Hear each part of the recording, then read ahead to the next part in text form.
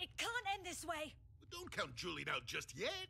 Please, I live in reality, and in reality, King Julien cannot beat Karl. I think someone's about to eat some humble lemur pie, whatever that means.